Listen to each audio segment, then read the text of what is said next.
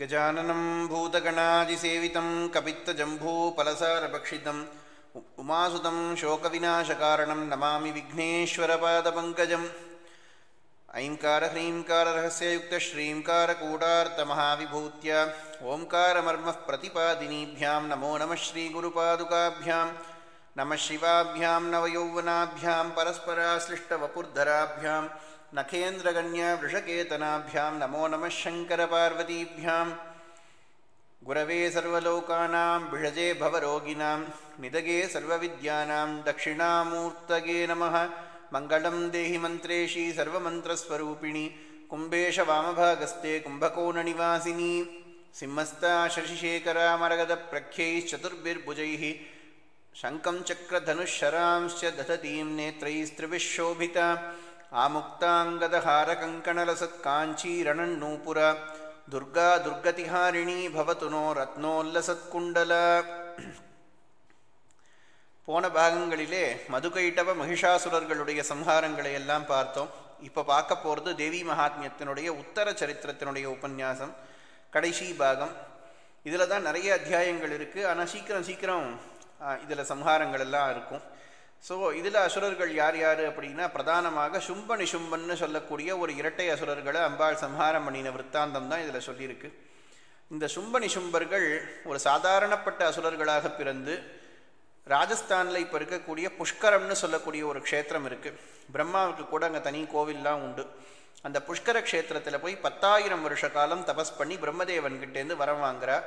மகிஷாசுரன் பண்ண அதே தப்பத்தான் இவாளும் பண்ணினா ஒரு ஸ்திரீயால் தங்களுக்கு மரணம் வரணும் அப்படின்னு சொல்லிட்டு வரணம் வா வரம் வாங்கிக்கிறா.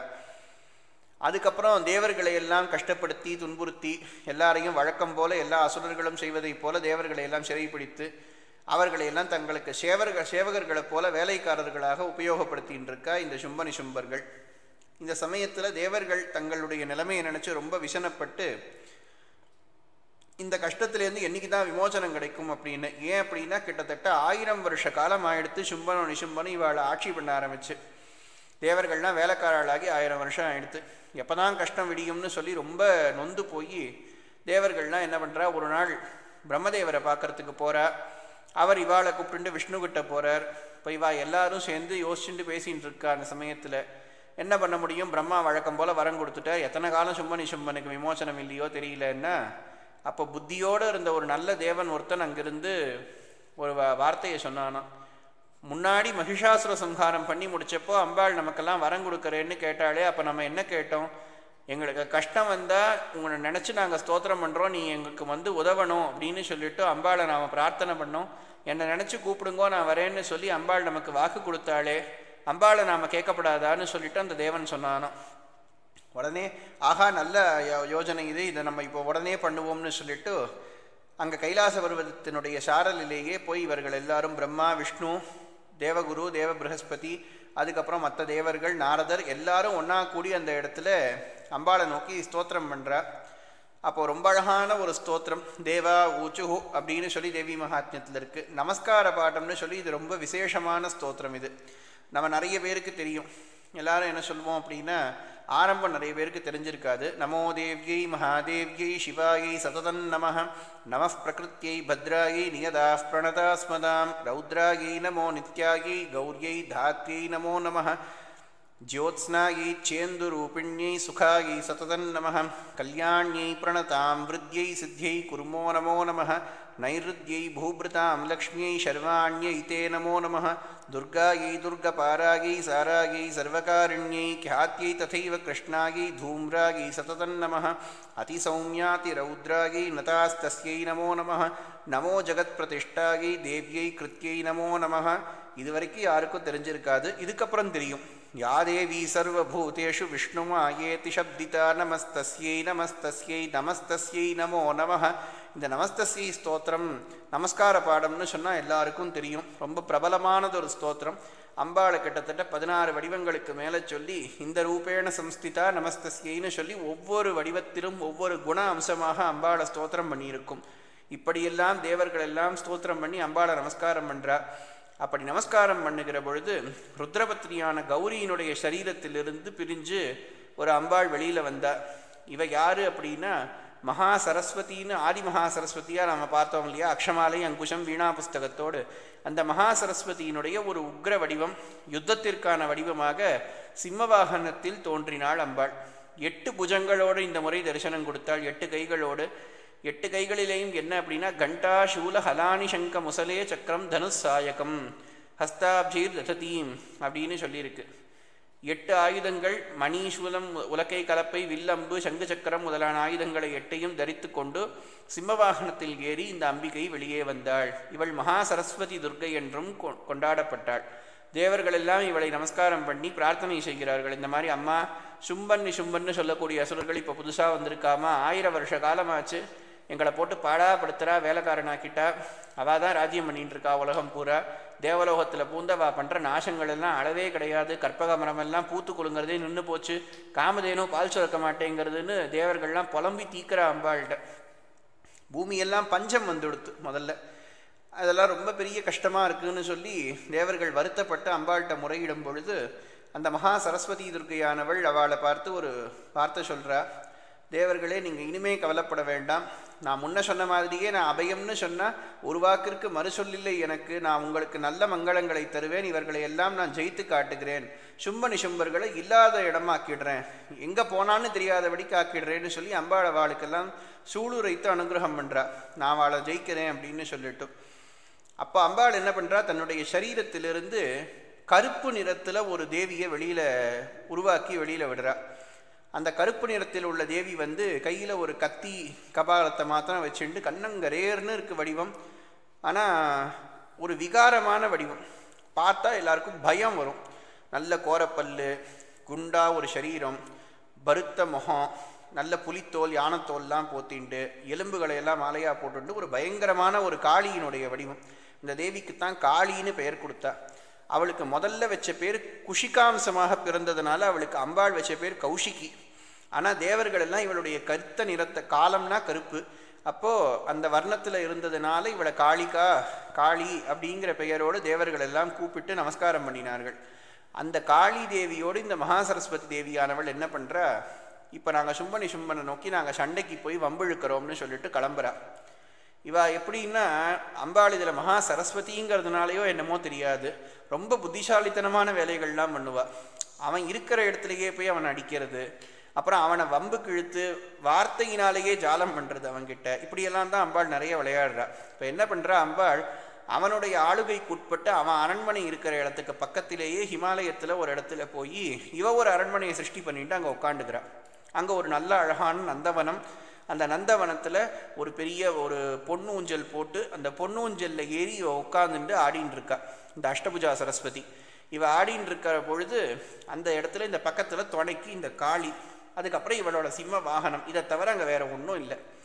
இதை வச்சுட்டு அவள் பாட்டுக்கு பாட்டு பாடிட்டு ஆடின்னு இருக்கா. இவளுடைய அந்த குரல் இனிமையான குரல் கொம்புத்தேன் போன்ற மொழி அழகான அந்த குரல் கேட்டு கேட்டு கேட்டு எங்கேயோ காற்றுல சஞ்சாரமாகி ஒரு பெண் குரல் வருதே.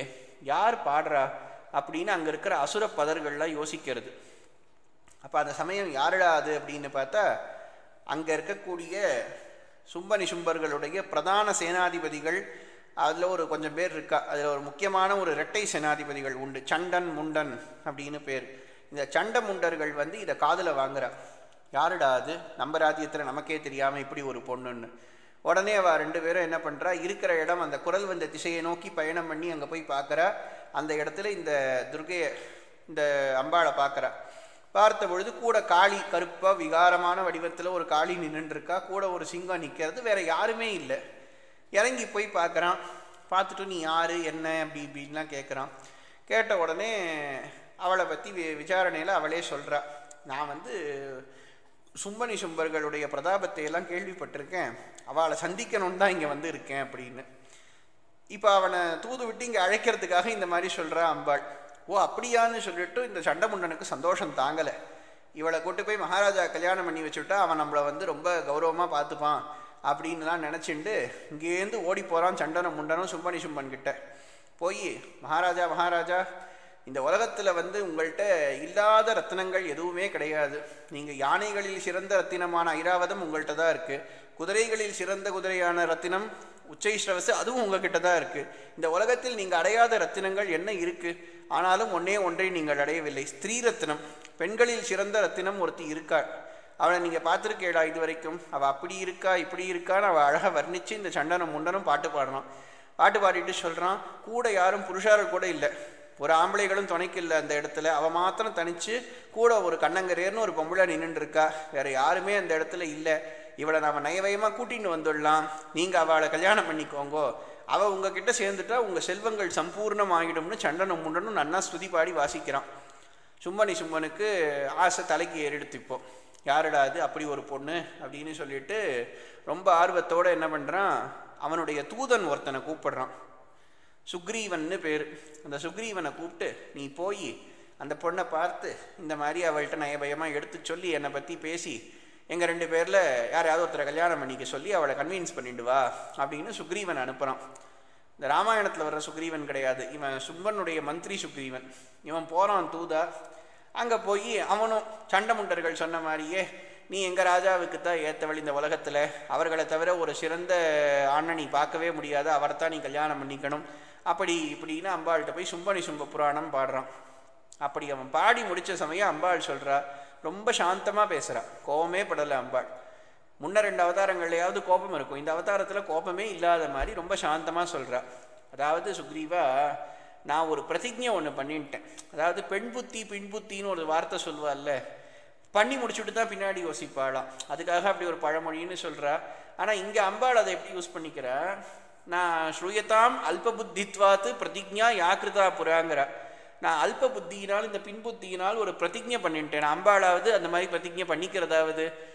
ஆனால் அம்பாள் அப்படி விளையாட்டாக சொல்கிறா என்ன பிரதிஜை பண்ணிட்டேன்? என்ன சபதம் ஒன்று போட்டுருக்கேன் அப்படின்னா யாராவது என்னை கல்யாணம் பண்ணிக்கணுமானால் என்னை யுத்தம் பண்ணி ஜெயிச்சவன் என்னை கல்யாணம் பண்ணிக்கலாம்னு நான் சபதம் போட்டிருக்கேன். நான் இதை கேட்ட உடனே சுக்ரீவன் ரொம்ப வருத்தப்பட்டான்.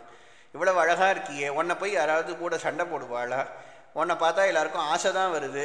உன்னை பார்த்து யாராவது வந்து சண்டை போட்டுன்னு உன் கூட போடலாம் புரிவானா? அப்படின்லாம் சொல்லி சுக்ரீவன் திரும்ப திரும்ப கன்வின்ஸ் பண்ணுறான் அப்போ அம்பாள் ஹார்ட் அண்ட் ஃபாஸ்ட்டாக கண்டிஷனாக சொல்லிடுறா. நீ திரும்ப திரும்ப பேசினதையே பேசின்னு இருக்க. நீ ஆயிரம் தரம் சொன்னாலும் நான் போட்ட சபதம் போட்டது தான் யோமே பிரதிபலோ லோகே சமயபர்த்தா பவிஷ்யசி. யோமாம் ஜெயதி சங்கிராமே யோமே தர்ப்பம் யபோகதி. யோமே பிரதிபலோ லோகே சமயபர்த்தா பவிஷ்யதி. யார் என்னை ச- என்னை ஜெயித்து சண்டை போட்டு ஜெயித்து என்னை அடிமைப்படுத்துவாரோ அவன் என்னை கொண்டு போகலாம். கல்யாணம் பண்ணிக்கலாம். நீ தான் சொல்றிய உன் மகாராஜா சும்பனும் நிஷும்பனும் பெரிய பிரதாபவான் அவனுக்கு எல்லாம் தெரியும் அவன் பெரிய யுத்தத்திலெல்லாம் நிபுணன் எல்லா தேவர்களையும் ஜெயிச்சுட்டான்னு. அந்த பராக்கிரமத்தெல்லாம் நானும் கேட்டேன். அவ்வளவு பராக்கிரமசாலிக்கு எதுக்கு பேசின்னு இருக்கணும்? அவள் ரெண்டு பேரும் வரட்டும். என்னை ஜெயிக்கட்டும். யார் ஜெயிச்சாலும் என்னை கொண்டு போகட்டும். நான் காத்துன்னு இருக்கேன்னு அம்பாள். இதுதான் சரஸ்வதிங்கிறது.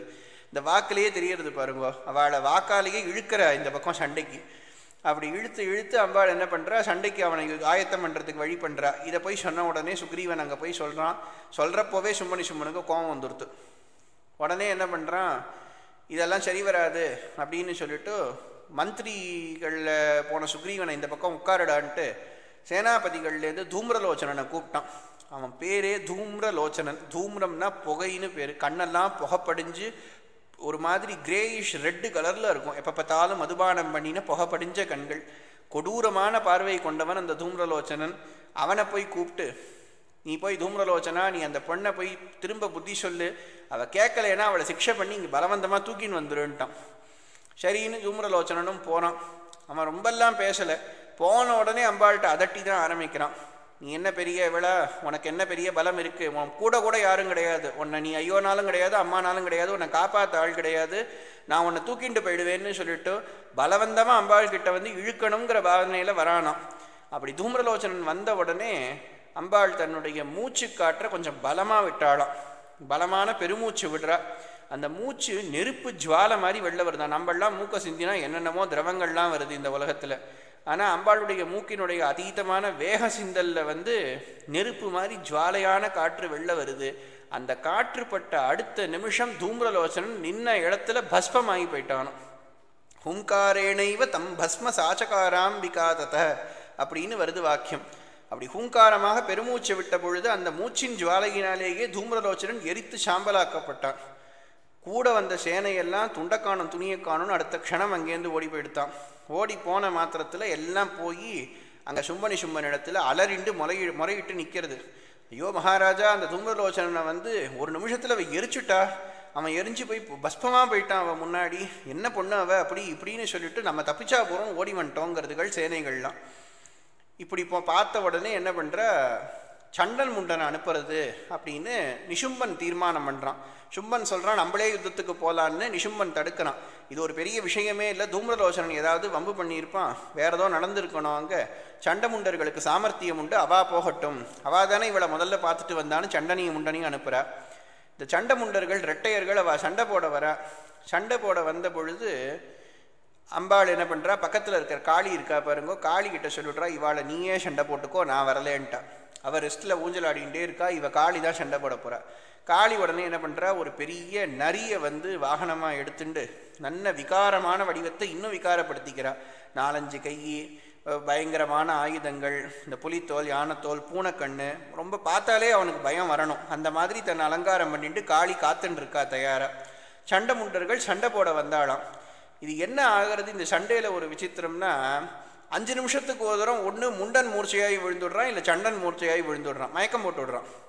இவன் சண்டை போடுறான் அம்பாவை ஏதாவது அடித்தானா ஒருத்தன் மயங்கி விழுந்துடுறான். அது வரைக்கும் அடுத்தவன் சண்டை போட்டுன்னு இருக்கான். அதுக்குள்ளே பார்த்தா இவன் அடித்தா அடுத்தவன் எவன் விழுந்தானா அவன் எழுந்துக்கிறான். இப்படியே மாற்றி மாற்றி மூர்ச்சையாகி விழறதும் திரும்ப எழுந்துக்கிறதுமாக ரெண்டு பேரும் சண்டை போட்டுட்டே இருக்கா. காளிக்கு ஒரு க்ஷணம் அழுத்து போயிடுத்தான். எத்தனை தரண்டா விழுவேல் எத்தனை தரம் எழுந்து போயிடுன்னு ரெண்டு பேரையும் பார்த்து திட்டின்ண்டே காளி என்ன பண்ணுறாளாம் ரெண்டு பேரையும் அப்படி கிட்டக்க சேர்த்து இழுத்து அவள் ஆயுதத்தை எடுத்து தொட்டின்னு வரா காளியை அடிக்கிறதுக்கு. அப்போ ரெண்டு பேரையும் பிடிச்சு பாசக்கயிறுனால நல்லா கனமாக கட்டிட்டாளாம் காளி. அப்படி கட்டிட்டு கயிறோடு இழுத்துட்டு போய் அம்பாள்கிட்ட காமிச்சாளாம். இது ரெண்டையும் என்ன பண்ணலாம்னு நீயே சொல்லு அப்படின்னு மகா சரஸ்வதியான துர்கை கிட்ட கேட்குறா அப்படி கேட்ட உடனே அம்பாள் பார்த்துட்டு இதெல்லாம் உனக்கு நான் சொல்லவும் வேணுமா? உனக்கு என்ன தோன்றதோ நீயே பண்ணிக்கோயேன்னு அவள் விட்டுட்டாளாம். அப்போது அவள் சொன்னாலாம் இந்த யுத்தம் இருக்கே யுத்தம் இது ஒரு பெரிய யஜ்யம் இது ஒரு பெரிய யாகம். இந்த யாகத்திலெல்லாம் அந்த காலத்தில் யூபஸ்தம்பம்னு ஒரு ஸ்தம்பத்தை நட்டு அதில் பலிக்கு ஒரு பொருளை ஒரு கட்டி வச்சுருப்பா. ஒரு மிருகத்தையோ இதையோ கட்டி வச்சுருப்பா. அதை வந்து பலி போட்டுடுவாளாம் யாகத்தில். அது மாதிரி இந்த யுத்தங்கிற யாகத்தில் சும்ப நிசும்பர்களை நீ சம்ஹாரம் பண்ணுறதுக்கு யாகம் பண்ணுற அதில் பலியாக வேணால் இவா ரெண்டு பேரை கொடுத்துடலாமேன்னு ஒரு அந்த யூபஸ்தம்பமாக ஒரு கத்தி எடுத்துன்னு வரேன்னு எடுத்துட்டு வந்து இவா கழுத்தை படார்னு வெட்டி விட்டாளாம். ரெண்டு பேர் சிரசையும் வெட்டி அம்பாள் தூரம் வீசிட்டா. அப்படி வீசின பொழுது இந்த சண்டன் முண்டன்களை சம்ஹாரம் பண்ணினதுனால அந்த அம்பாளானவள் மகா சரஸ்வதி ஆனவள் இந்த காளியை பார்த்து அவளுக்கு ஒரு பேர் கொடுத்தாள் சாமுண்டா அப்படின்னு ஒரு பெயர் கொடுத்தா. இன்றைக்கும் நவாட்சர மந்திரம் உள்பட எல்லாவற்றிலும் விசேஷமாக அம்பாளை கொண்டாடக்கூடியது இந்த பேர் தான் அப்படின்னு இருக்குது சாமுண்டாங்கிற பெயரால் தான் அம்பாளை ரொம்ப கொண்டாடுறோம் நாம். சாமுண்டேதி ததவலோகே கியாதாதேவி பவிஷ்யசி அப்படின்னு அம்பாளுடைய வார்த்தை. அப்படி சாமுண்டாங்கிற பெயரை கொடுத்து அவளை சந்தோஷப்படுத்துகிறா காளியை. இப்போ இந்த மாத்திரம் சேதி போகிறது பாக்கி சேனைகள்லாம் போய் அங்கே சேதி சொல்கிறா யார்கிட்ட? சும்ப நிசும்பர்கள்ட்ட சும்ப நிசும்பர்களுக்கு இதை கேட்ட உடனே ஆத்திரம் தலைக்கேறுறது.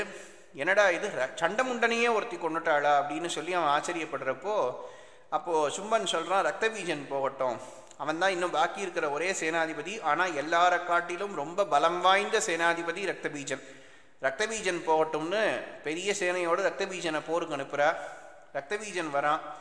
ரக்தபீஜன் வர்ற பொழுது அம்பாள் அவனை வரவேற்கும் விதமாக ஒரு வேலை பண்ணாலாம் என்னென்னா அவள் கையில் இருக்கிற மணியை டங் டங் டங்னு மணி அடிக்கிறா.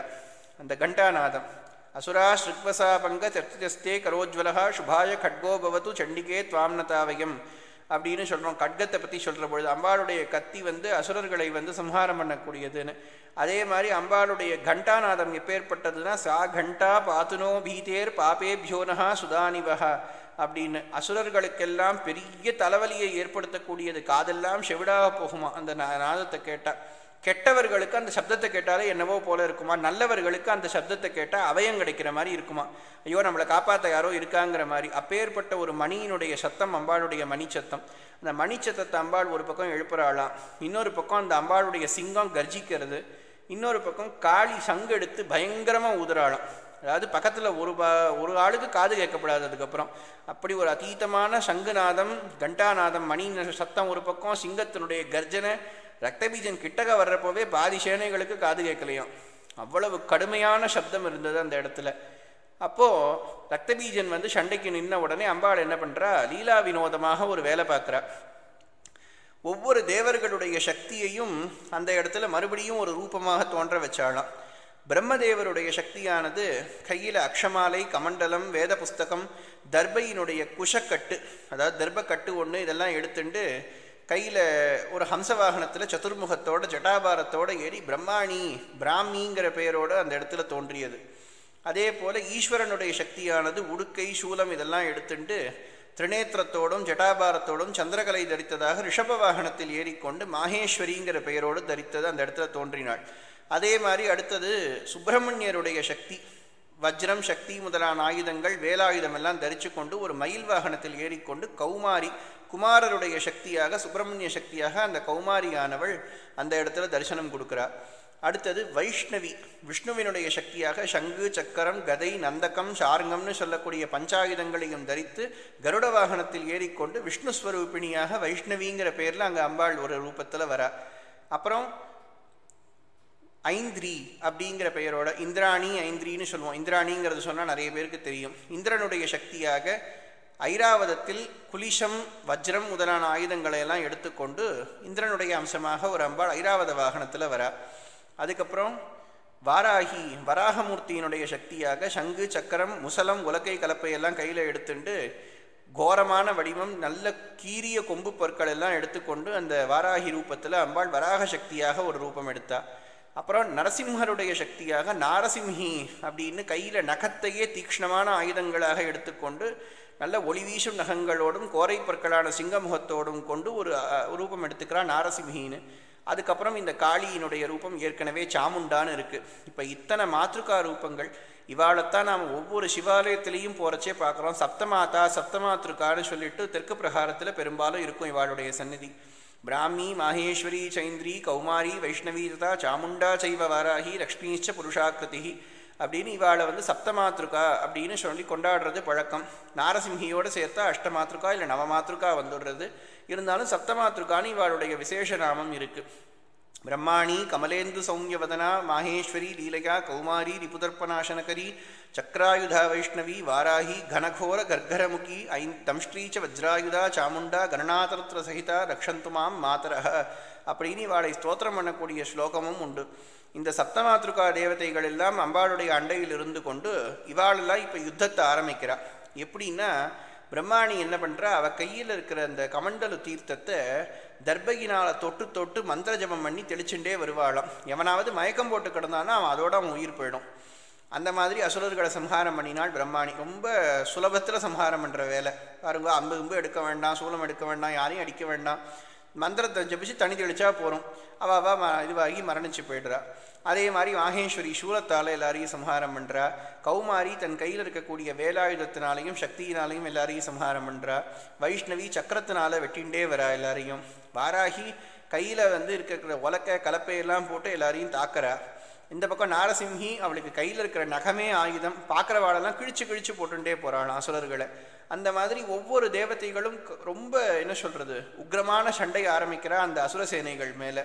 அந்த சமயத்தில் யமனுடைய சக்தி தண்டத்தை எடுத்துட்டு யமிங்கிற பேரோடவும் வருண சக்தி வாருணியாகவும் குபேர சக்தி கௌபேரியாகவும் கூட அந்தந்த இடத்துல வந்து அவளும் யுத்தத்தில் கலந்துக்கிறா.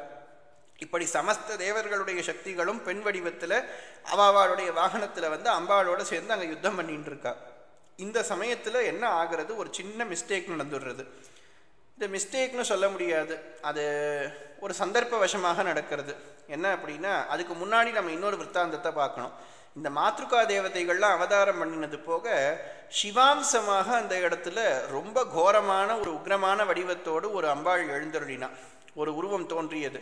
அந்த உருவம் ரொம்ப கால வர்ணத்தில் கண்ணங்கரேர்னு ஒரு வடிவத்தில் நிறைய தத்துப்பொருட்களோட பயங்கரமான ஒரு வடிவம் சிவாம்சமான வடிவம். அந்த வடிவத்தில் ஒரு அம்பாள் தோன்றினா அவளுடைய குரல் பேசினாலே வந்து நரி ஊழையிட்டு பயமுறுத்துகிற மாதிரி இருக்குமா. அவ்வளவு மகாராவமான ஒரு சப்தம். அந்த அளவுக்கு ரொம்ப பயங்கரமான ஒரு வடிவத்தோட அசுரர்களை பயமுறுத்தினா சிவாம்சமான ஒரு ரூபம் எடுத்துக்கொண்டு அப்படின்னு தேவி மகாத்மியத்தில் இருக்குது அந்த அம்பாள் என்ன பண்ணுறா சிவனை கூப்பிடுறா அந்த இடத்துக்கு. கூப்பிட்டு சிவபெருமான்கிட்ட சொல்கிறா நீங்கள் அந்த அசுரர்களுக்கு போய் புத்தி சொல்லுங்க. இந்த அசுரர்கள் எப்போவுமே பிரம்மாவையும் விஷ்ணுவையும் ஒத்துக்க மாட்டா. பிரம்மாவை வரம் வாங்குற வரைக்கும் ஒத்துப்பா அப்புறம் மதிக்க மாட்டா. விஷ்ணு அவளுக்கு ஆகாது. நீங்கள் போயாவது அவனுக்கு புத்தி சொல்லுங்கோ. ஒருவேளை அவன் உங்கள் பேச்சை கேட்டு உயிர் பழைச்சான்னா நல்லதுன்னு நானாம் அம்பாள் அவ்வளவு கோரமான வடிவத்தில் வந்த பொழுது கூட அவளுக்கு அந்த கருணை இருந்தது. அவன் உயிர் பழைக்கணுமேங்கிற கருணை. அதனால ஒரு தூது அனுப்புறா சிவனை. சிவனும் போய் சும்மணி சும்பர்களுக்கு புத்தி சொல்கிறார் நீ பாதாளத்தில் போய் ராஜ்யம் பண்ணு தேவர் ராஜ்யத்தை விட்டுடு. உன் ராஜ்யத்தோடு நீ சௌக்கியமாக இருந்து உயிர் வாழ்ந்துக்கோ. இவளோட சண்டை போட்டு உயிரை விடாதேங்கிறார். அவன் கேட்கவே இல்லை சிவனையும் மதிக்கலை. இப்படி சிவபெருமானையே அம்பாள் தூதா அனுப்பியிருந்தனால தூதன்னு பேர் இல்லையா? தூது போகிறவனுக்கு சிவனை தூதா அனுப்பினதுனால அம்பாளுக்கு சிவதூத்தின்னு அந்த வடிவத்துக்கு பேர் வந்ததுன்னு இருக்குது இந்த சிவதூத்திங்கிற வடிவத்தோடவும் ஒரு அம்பாள் அங்கே களத்தில் நிற்கிறா சண்டை போட்டுண்டு. அவள் எந்த ஆயுதமுமே பிரயோகம் பண்ணலை. அவளுடைய அந்த ஊழை சத்தம் மட்டுமே எல்லா அசுரர்களையும் நடுங்கி விழுந்து மரணிக்க வைத்தது அப்படின்னு சொல்லிட்டு தேவி மகாத்மியம் சொல்கிறது இப்படி ஆரம்பித்து யுத்தம் நடக்கிறது. ஏன்னா இப்போ அவள் கேட்க போகிறது இல்லை நான் எடுத்த தூதெல்லாம் மதிக்கலை. யுத்தம் தொடர்ந்து நடக்கிறது. அந்த சமயத்தில் என்னென்னா மாத்ருகா தேவிகள்லாம் பராக்கிரமமாக சண்டை போடுற பொழுது வைஷ்ணவி வந்து தன்னுடைய சக்கரத்தினால ரத்தபீஜனையே அடிக்கிறாள் அந்த சமயத்தில் கௌமாரியும் தன்னுடைய சக்தி ஆயுதத்தினால அவனை தாக்குறா. அவன் உடம்புலேருந்து ரத்தம் பீரிட்டு வெளில வருது. அவனுக்கு பெரிய வரமே என்ன அப்படின்னா அவன் பேர்லேயே இருக்கு ரத்த பீஜன் அவன் உடம்புல இருக்கிற ஒவ்வொரு துளி ரத்தமும் பூமியில் பட பட பட அவனைப் போலவே அதே பலத்தோடு இன்னொரு ரத்த பீஜன் தோன்றுவான். ஒவ்வொரு துளி ரத்தமும் ஒரு ஒரு ரத்த பீஜனாக உயிர் வெளுக்கும். அவன் ரத்தமே அவனுக்கு உயிர் துளி அப்படிங்கிறது தான் அவனுடைய வரம்.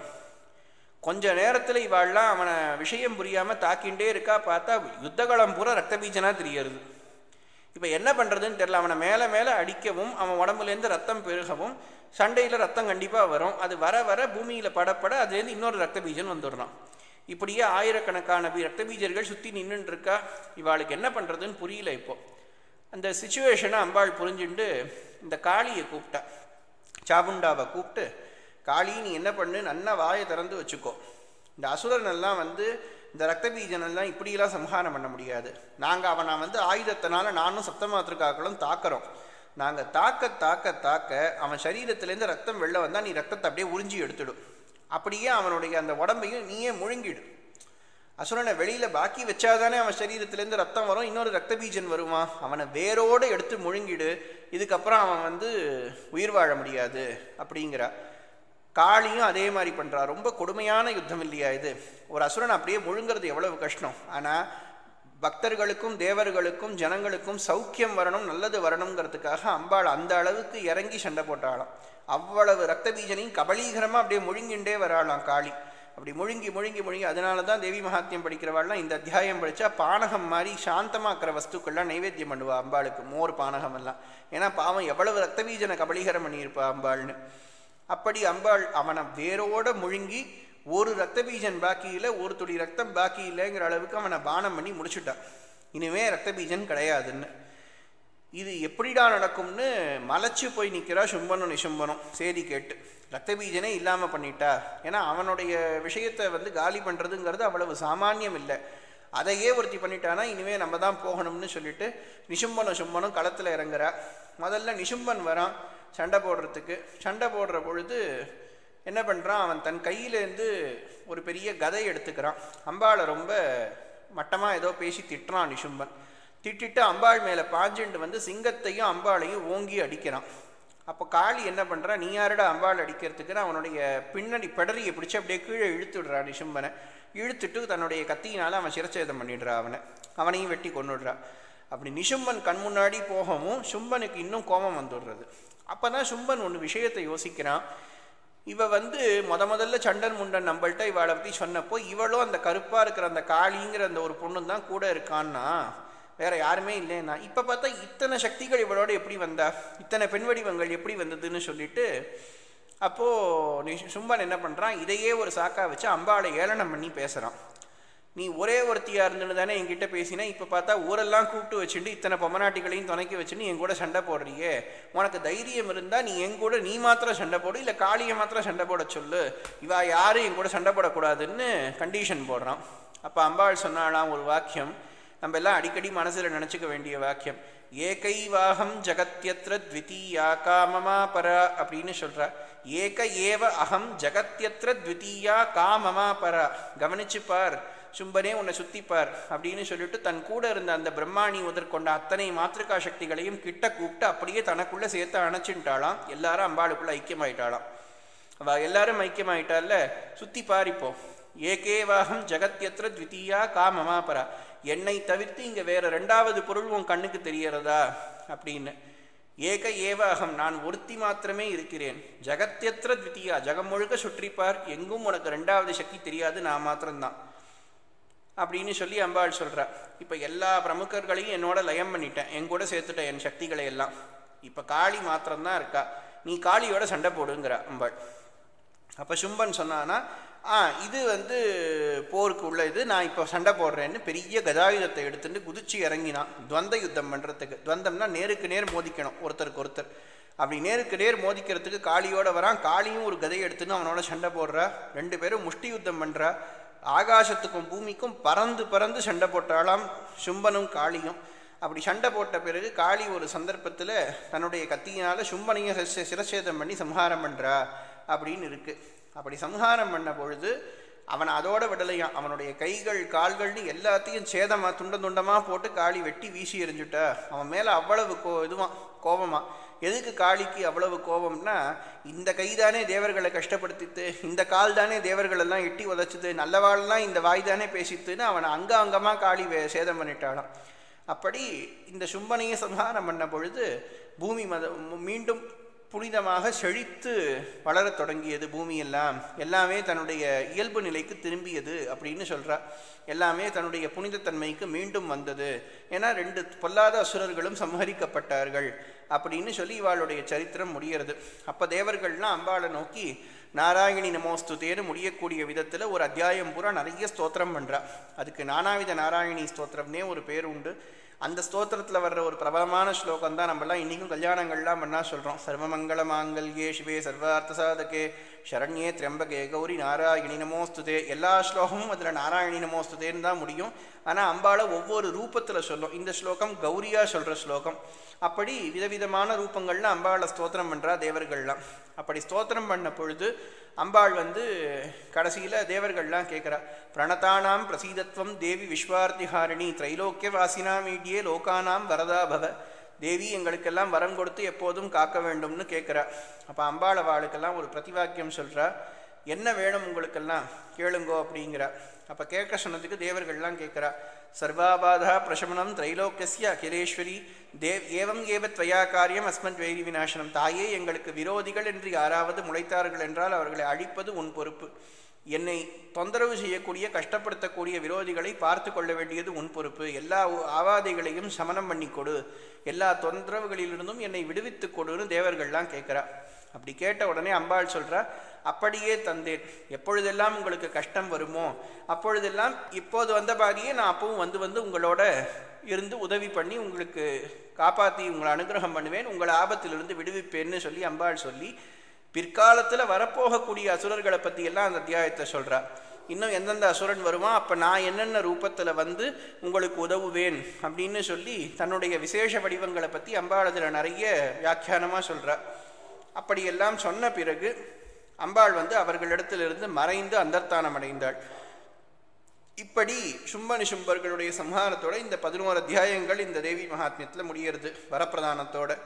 அதுக்கப்புறம் ஒரு பலஸ்துதி அத்தியாயம் இருக்குது இந்த ப தேவர்களுக்கு அம்பாள் வரம் கொடுத்துட்டா பலஸ்துதியில் அம்பாளே பலஸ்துதி சொல்கிறா அப்படின்னு இந்த பன்னெண்டாவது அத்தியாயம் இருக்குது கடைசி அத்தியாயத்தில் இப்போ நம்ம மறுபடியும் கதைக்கு போகிறோம் இப்படியாக அம்பாளுடைய மூன்று விதமான சரித்திரங்களையும் மகா காளியாகவும் மகாலட்சுமியாகவும் மகா சரஸ்வதியாகவும் அம்பாள் இருந்து பண்ணின இந்த வைபவங்களை எல்லாம் அசுர சம்ஹாரங்கள் பண்ணி நல்லவர்களை எல்லாம் காப்பாற்றி அவர்களை தன்னுடைய இடத்துல மறுபடியும் ஸ்தாபித்த அம்பாளுடைய இந்த வரலாறை எல்லாம் சுமேதஸ் மகரிஷி சுரத்தனுக்கும் சமாதியான வைஷ்யனுக்கும் சொல்லி முடித்தார். அவர் சொல்லி முடித்த பிறகு அசுரனுக்கு அந்த அசுரர்களை எல்லாம் அம்பாள் சம்ஹாரம் பண்ணின இந்த வியாக்கியானங்களை எல்லாம் கேட்டு ராஜா சுரத்தனும் வைஷ்ய சமாதியும் ரொம்ப சந்தோஷப்பட்டார்கள். அப்போ அவ அந்த ரிஷிக்கிட்டேயே வந்து அம்பாளுடைய பீஜாட்சர பூர்வமான மந்திரங்களை எல்லாம் உபதேசம் வாங்கி கொண்டு அம்பாளை நோக்கி தபஸ் பண்ணுறா எப்படி தபஸ் பண்ணா அப்படின்னா முதல் வருஷம் வந்து இலைகளை மாத்திரம் சாப்பிட்டு தபஸ் இருந்தாளாம் ரெண்டாம் வருஷமும் மூணாம் வருஷமும் காற்றுல தானாக காஞ்சி விழக்கூடிய சருகான இலைகளை தான் சாப்பிடுவாளாம். அப்படியே சாப்பிட்டுட்டு உக்ரமான தபஸ் பண்ணுறா அப்படி மூணு வருஷ காலம் தபஸ் முடிக்கிறச்சே அம்பாள் வந்து அவளுடைய சொப்பனத்தில் தரிசனம் கொடுத்தாலும் அதை நேரில் தரிசனம் பண்ணணும்னு அவளுக்கு ஆசை. உடனே என்ன பண்ணினாலாம் ரொம்ப உக்ரமாக இன்னும் தபஸ் பண்ணிவிட்டு அம்பாள் தரிசனம் கொடுக்கல அவளுக்கு உடனே. அப்போ என்ன பண்ணிட்டா தங்களுடைய அங்கங்களை எல்லாம் ஹோமகுண்டத்தில் வெட்டி போட்டுட்டு நம்ம பிராணனையே விட்டுடலாங்கிற முடிவோட குதிக்க போயிட்டாளாம். பண்டாசுர வதத்துக்கு அம்பாளை கூப்பிடுறச்சு தேவர்கள் எப்படி பண்ணார்களோ அதே மாதிரி இவாளும் பண்ணியிருக்கா. அப்படி பண்ண பொழுது தேவியானவள் அவளை தடுத்துட்டு அவள் முன்னாடி பிரத்யக்ஷம் பண்ணுறா தன்னுடைய வடிவத்தோட தரிசனம் கொடுக்குற அந்த சுரத்தராஜனும் சமாதியான வைஷ்யனும் அம்பாளை பலமுறை நமஸ்காரம் பண்ணி ஆனந்த கண்ணீரோடு பார்த்து வணங்குறா. அப்போது தேவிக்கு வந்து அவளை கேட்குறா உங்களுக்கு என்ன வரம் வேணும்னு கேளுங்கோ. நீங்கள் என்னை நோக்கி பெரிய ஆனந்தமாக தபஸெல்லாம் பண்ணி என்னை சந்தோஷப்படுத்தியிருக்கேள்னு. அப்போ தேவி சொன்னதுக்கு இந்த பக்தர்கள் வரம் கேட்குறா. சுரதனுக்கு இதுதான் இந்த விஷயத்தில் நம்ம ரொம்ப யோசனை பண்ணணும். இவா ரெண்டு பேரும் எப்படி கேட்டிருக்கா? அப்படின்னு. சுரத்தனுக்கு எவ்வளவு தான் இதெல்லாம் நடந்தாலும் அவனுடைய ராஜ்யத்து மேலே தான் ஆசை. அது என்ன சொல்கிறது ஒரு சிற்றின்பம் தான். இதெல்லாம் இன்றைக்கி இருக்கும் நாளைக்கு போகும். இந்த ஆயுசுக்கு இருக்கிற மாதிரி ஒரு விஷயம் தானே அதை போய் தான் திரும்ப கேட்குறான் சுரத்தன். என்னுடைய ராஜ்யங்கள்லாம் எனக்கு திரும்ப வேணும் அப்படின்னு. அம்பாள் சொன்னாலாம் என்ன ராஜ்யம் மாத்திரம் வேணும்னு கேட்குற? உனக்கு நான் பெருசாக தரேன். உன் ராஜ்யத்துக்கு நீ இப்போ திரும்ப போ. அங்கே இருக்கிற நீ தான் எங்களை காப்பாற்றணும்னு உன் காலில் விழுவா. உன்னை யாரெல்லாம் பகச்சிண்டு உங்ககிட்டேருந்து நாட்டை பிடுங்கினாலோ அவள்லாம் உன் காலில் விழுந்து நமஸ்காரம் பண்ணுவா. நீ போய் ராஜாவாக ஆண்டு ஆரம்பி அறுபதாயிரம் வருஷம் உனக்கு ஆட்சி கொடுக்குறேன். நல்லபடியாக ஆண்டு முடிச்சுட்டு அதுக்கப்புறமா சூரியலோகத்தை போய் அடைஞ்சு சூரியனோட ஐக்கியமாகி அடுத்த ஜென்மா சூரியன் கிட்டேருந்து நீ பிறப்ப. எப்படி பிறப்ப அப்படின்னு கேட்டால் வைவஸ்பத மனுவா பிறப்ப அப்படின்னு சொல்லி இந்த பூலோகத்துக்கே ராஜாவாக இருப்ப. அடுத்த ஜென்மத்திலையும் அவன் ஒரு ராஜ பதவி தான் கேட்டான். ஒரு ஜென்மாவிலேயே அறுபதாயிரம் வருஷம் ஆட்சி அதுக்கப்புறம் அவன் சூரியன்கிட்ட போய் சேர்றது மறுபடியும் சூரிய புத்திரனாக வைவஸ்வத மனுவாக பிறந்து பூமி அறுபதாயிரம் வருஷம் மறுபடியும் ஆட்சி பண்ணுவான். ஒரு மன்வந்தர காலம் அவன் ஆட்சி பண்ணுறதுக்கு அவனுக்கு பாக்கியம் கொடுத்தா அம்பாள். நம்ம கேட்டதுக்கு பல மடங்கு மேலேயே கொடுக்குறா பாருங்கோ. அப்படி கொடுத்து அனுகிரகம் பண்ணினா சரி அவன் கொடுத்தான். இந்த ராஜாவுக்கு வாங்கிட்டா இந்த மாதிரி ஒரு வரத்தை. அவன் கேட்டது எல்லாமே அனித்தியமான பொருள் தான் பாருங்க அவனுக்கு மோட்சம் இல்லை. மறுஜென்மம் தான் கிடச்சிது. திரும்ப ஒரு ஜென்மம் ராஜாவாக இருந்து திரும்ப ஆளப் போகிறான் மனுவாக இருந்து பூமியே ஆளப் போகிறான் ஆனால் வைஷ்யன்தான் இருந்ததுலேயே புத்திசாலி அந்த சமாதி. அவனை அம்பாள் பார்த்துட்டுப்பா உனக்கு என்ன வேணும்னாலாம் இப்போ வைஷ்யன் கேட்டானா அம்மா எனக்கு இந்த உலகத்து மேலே விரக்தி வந்துடுத்து. ஏற்கனவே என் பத்னி புத்திரர்கள் எல்லாரையும் விட்டு விலகி அவளுடைய அவமானம் தாங்காமல் நான் ஓடி வந்தேன் இங்கே. எனக்கு இனிமே அவள் யாரோடையும் போய் வாழணும்னெல்லாம் ஆசை இல்லைம்மா. எனக்கு செல்வத்து மேலேயும் பற்று இல்லை. எனக்கு உன்னுடைய பாதார விந்தத்திலேயே ஐக்கியம் கொடுத்துடும் அது போகிறோம் எனக்கு வேற எதுவும் வேண்டான்னு நானா? அம்பாளே ஒரு நிமிஷம் ஆச்சரியப்பட்டாளாம். இப்படியும் கேட்குற அளவுக்கு ஒரு புத்திசாலி இருக்கானேன்னு. அவனுக்கு அந்த வரத்தை கொடுத்தாளாம் அம்பாள். நீ ஆத்ம ஞானத்தை அடைவ ஜீவன் முக்தனா வாழ்வ இருக்கிறச்சேவே பிரம்மஞானி ஆயிடுவப்பா நீ. இதே ஆசிரமத்தில் இருந்துட்டு சௌக்கியமாக இரு அப்படின்னா அங்கேயே கொஞ்ச காலம் இருந்து சமாதி பிரம்மஞானியாக வாழ்ந்து அதுக்கப்புறம் தீர்த்த சஞ்சாரங்கள்லாம் போய் பல க்ஷேத்திரங்களையெல்லாம் தரிசனம் பண்ணிட்டு அதுக்கப்புறம் கால பரியந்தம் சுமேத ரிஷியுடைய ஆசிரமத்திலேயே பெரிய ஞானியாக இருந்து அம்பாளோடு ஐக்கியமானார் அப்படின்னு சொல்லிட்டு அந்த சு சமாதியினுடைய வைபவம் அப்படி முடியறது. அம்பாள் இப்படி இரண்டு பேருக்கும் வரம் கொடுத்து அந்தர்தானமானாள் மறுபடியும் அப்படின்னு சொல்லி இந்த தேவி மகாத்மியம் பூர்த்தி ஆகிறது அப்படி இந்த அம்பாளுடைய சரித்திரத்திலேருந்து நாம் தெரிஞ்சுக்கிறது என்ன அப்படின்னா நாம் என்ன கேட்டாலும் கேட்கறதுக்கு பல மடங்கு மேலே கொடுக்கறது தான் இந்த பிரதேவத்தினுடைய சுபாவம். அது இந்த நவராத்திரி புண்ணிய காலத்தினுடைய விசேஷமே. ஒரு சின்ன பூஜையோ ஒரு சின்ன உபச்சாரமோ அம்பாளுக்கு நாம் பண்ணினா கூட ஆயிரம் பங்கு பலனை கொடுக்கும்னு இருக்குது அவ்வளவு விசேஷம். ஸ்ரத்தையான ஒரு உபவாசம் பண்ணுறது ரொம்ப முக்கியம் இந்த நவராத்திரியில். அன்ன ஆகாரங்களை குறைச்சிட்டு ஒரு சாதாரணமான லகுவான ஆகாரங்கள் கஞ்சி மாதிரி ஏதாவது சாப்பிட்டுண்டு அதுக்கப்புறம் நித்தியப்படி நிறைய பூஜைகளும் அர்ச்சனைகளும் அம்பாளுடைய இந்த தேவி மகாத்மியம் சகசிரநாமம் ம மற்ற ஸ்தோத்திரங்கள் தேவியினுடைய வைபவங்களை பாடக்கூடிய கதைகள் பாடல்கள் இதையெல்லாம் பாடி அம்பாளுக்கு ரெண்டு விஷயம் ரொம்ப பிடிக்கும். எப்படி ஈஸ்வரனுக்கு அபிஷேகம் மகாவிஷ்ணுவுக்கு அலங்காரம் மகாகணபதிக்கு நைவேத்தியம் சுப்பிரமணியருக்கு விரதங்கள் கடுமையான அனுஷ்டானங்கள் சூரியனுக்கு நமஸ்காரம் இதெல்லாம் பிரீத்தியோ? அம்பாளுக்கு அர்ச்சன பிரீத்தி. அர்ச்சன துஷ்டா அப்படின்னு அவளுக்கு சௌபாகியாஷ்டோத்திர சத்தநாமத்தில் ஒரு விசேஷ நாமமே உண்டு. அர்ச்சன துஷ்ட அர்ச்சனையினால் துஷ் சந்தோஷம் அடைபவள் அம்பாள். நிறைய சகசிரநாம அர்ச்சனைகள் திரிசதை அர்ச்சனைகள் லட்சார்ச்சனைகள் பண்ணலாம் ஆற்றுல ஒருத்தராகவே பத்து நாள் ச வசதி இருந்தால் பண்ணலாம். நமக்கு என்ன சகாயம் இருக்கோ நமக்கு எவ்வளவு புஷ்பங்கள் வாங்க முடியுமோ அதை வச்சுண்டு என்ன சக்திக்கு உட்பட்டதோ அவ்வளவு தூரம் அம்பாளை அர்ச்சனை பண்ணி நிறைய ஸ்தோத்திரம் பண்ணணும். அவள் ஸ்தோத்திர பிரியா ஸ்துதிமதி ஏற்கனவே சொன்னாப்புல நிறைய ஸ்தோத்திரம் பண்ணணும் அம்பாளை நோக்கி கானம் பண்ணணும். இப்படியெல்லாம் பண்ண பண்ண பண்ண அம்பாள் நம்ம கேட்கறதுக்கு மேலே பலவிதமான அனுகிரகங்களை நமக்கு பண்ணுவாள். சதா காலமும் துணை இருக்கக்கூடியவள் அம்பாள் இந்த விஷயத்தில். அதுவும் இந்த சண்டிகாங்கிற ரூபத்தை பற்றி சொல்கிற பொழுது கலவு சண்டி விநாயகவுன்னு ஒரு பெரிய வாக்கியம் உண்டு இந்த கலிகாலத்தில் கஷ்டம் கஷ்டம் கஷ்டம் துன்பம் துன்பம் துன்பம். இதை தவிர்த்து மனுஷாளுக்கு வேறு எதுவும் இருக்காது. ஏன்னா தொட்ட நாள் முதற்கொண்டு ஒரு பொழுது விடிஞ்சால் கஷ்டம் இல்லாமல் போகாது மனுஷாளுக்கு. எப்பேற்பட்ட செல்வம் படைச்சவனாக இருந்தாலும் நிம்மதி இருக்காது கஷ்டம்தான் இருக்கும். அப்போ அந்த கஷ்டங்கள் சாஸ்வதமாக ஒரு மனிதனை வருத்தும் பொழுது அவனுக்கு எது கை கொடுக்கும்? கலிகாலத்தில் கூப்பிட்டவுடன் அவனுக்கு யார் உதவுவார்கள்? அப்படின்னா கலவு சண்டி விநாயகவு. அப்படின்னா கலியில் சண்டி கை கொடுத்து உதவுவாள். சண்டிகா பரமேஸ்வரி துர்கை கை கொடுத்து உதவுவாள். கணபதி கை கொடுப்பார். இது தெரிஞ்சதுனாலேயோ என்னமோ தெரியாது. நம்ம முன்னோர்கள்லாம் ரொம்ப பெரிய புத்திசாலிகள். ஒவ்வொரு கிராமத்திலையும் ரொம்ப அதிகமாக அணுகக்கூடிய அளவில் அவள் சின்ன சின்னதாக கட்டி வச்சது இவாளுடைய கோவில்கள் தான். சண்டிகையை வந்து காளியம்மனாவும் மாரியம்மனாவும் கிராமத்துக்கு கிராமம் நிறைய வச்சுருப்பாள் தெருவிலேயே இருக்கும் அம்பாளுடைய கோவில். ஒரு சின்ன அம்பாள் கோவில் எங்கேயோ ஒரு இடத்துல இருக்கும். இப்போவும் நம்ம எங்கே போனாலும் ஒரு இடத்துல ஒரு இடம் பார்க்குறோம் ஒரு பெரிய இது இதெல்லாம் இருக்காது. சாதாரணமாக ஒரு கோவிலில் அம்பாள் உட்காண்டிருப்பா என்னமோ ஒரு பேரோடு உட்காண்டிருப்பா அதே மாதிரி பிள்ளையார் ஒரு தெருவுக்கு ரெண்டு பிள்ளையார் கூட இருப்பார். அரச மரத்தடி ஆலமரத்தடி எங்கே பார்த்தாலும் உட்காந்துப்பார் அவர். அப்படி இந்த சண்டிகையும் பிள்ளையாரும் எதுக்கு நமக்கு ரொம்ப ஆக்சசிபிளாக முன்னோர்கள் வச்சானா அவள் தான் கூப்பிட்ட குரலுக்கு ஓடி வந்து நமக்கு உதவுவாளாம். அந்த தாத்பரியத்தை அனுசரித்து இந்த சண்டிகா பரமேஸ்வரியை இந்த நவராத்திரியில் ஆணை மட்டும் அர்ச்சனைகளும் பூஜைகளும் பண்ணி ஆராதிக்கிறது அதே மாதிரி குழந்தைகள் கன்னியா குழந்தைகளுக்கு இந்த துர்கைங்கிறது ஒரு கன்னியா ரூபம். அதனால் அவளை சந்தோஷப்படுத்துவதற்காக வரக்கூடிய சின்ன சின்ன குழந்தைகள் பெண் குழந்தைகளுக்கெல்லாம் நல்ல ஸ்வா திரவியங்கள்லாம் சௌபாகிய திரவியங்கள்லாம் வச்சு கொடுத்து நமஸ்காரம் பண்ணுறது கன்னியா பூஜை பண்ணுறது சுவாசினிகளையும் அதே மாதிரி அம்பாளாக ஆராதிக்கிறது. இப்படி செய்யக்கூடியது பிராமண போஜனம் பண்ணி வைக்கிறது சுவாசினிகளுக்கு சந்தர்ப்பணம் பண்ணி போஜனம் பண்ணுறது இந்த மாதிரி செய்யக்கூடிய உபச்சாரங்களினால அம்பாள் ரொம்ப ரொம்ப சந்தோஷம் அடைகிறார் ஆனால் இது எல்லாத்துலேயும் வேதவியாசர் தேவி பாகவத்தை சொல்கிற பொழுது ஒரு வாக்கியம் சொல்கிறார் திரவிய லோபம் இருக்கக்கூடாதுங்கிறார். நிறைய பேருக்கு இது இன்றைக்கும் புரிய வேண்டிய ஒரு விஷயம் ரொம்ப முக்கியமாக கவனிக்கணும். நம்மக்கிட்ட மாத சம்பளம்லாம் இப்போ நிறைய சம்பாதிக்கிறோம் நிறைய பணம் இருக்குன்னே வச்சுப்போம். அம்பாளுக்கு புஷ்பம் வாங்க சொன்னால் கடையில் பூ நிறைய ரூபாய்க்கு விற்கிறான் இவ்வளவுக்கு தான் வாங்க முடியும்.